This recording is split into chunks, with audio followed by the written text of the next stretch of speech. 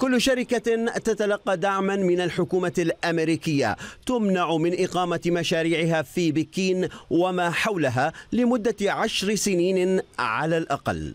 هو آخر قرار للبيت الأبيض في إطار الصراع السياسي والاقتصادي مع الصين التي بلغ حجم صادراتها العام الماضي إلى الولايات المتحدة أكثر من 180 مليار دولار. البيت الأبيض خصص أكثر من 50 مليار دولار لدعم الصناعة الأمريكية للرقائق الإلكترونية ماليا أو عبر بعض الإعفاءات الضريبية على الشركات المصنعة.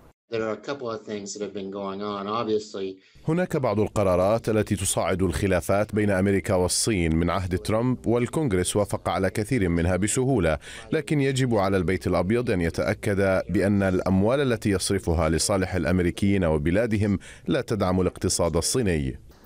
قرار اعترضت عليه السفارة الصينية في واشنطن وقالت بأنه تذكير بالحرب الباردة في حين رأى فيه مراقبون سببا كافيا لتأجيج التوتر بين البلدين.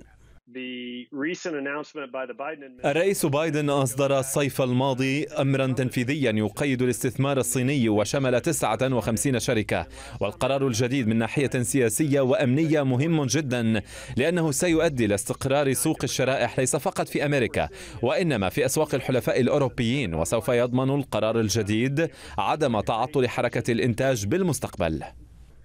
وعللت وزارة التجارة الأمريكية قرار البيت الأبيض بأنه جاء للحفاظ على الأمن القومي الأمريكي. قبل ثلاثين عاما كانت الولايات المتحدة مسؤولة عن إنتاج 40% من الشرائح الإلكترونية في العالم. أما حاليا فلا تزيد حصتها عن عشرة بالمئة. وهو ما دفع البيت الأبيض بالسماح للشركات الأجنبية باستقطاب الخبراء في هذا المجال. إياد الجغبير سكاي نيوز عربيه واشنطن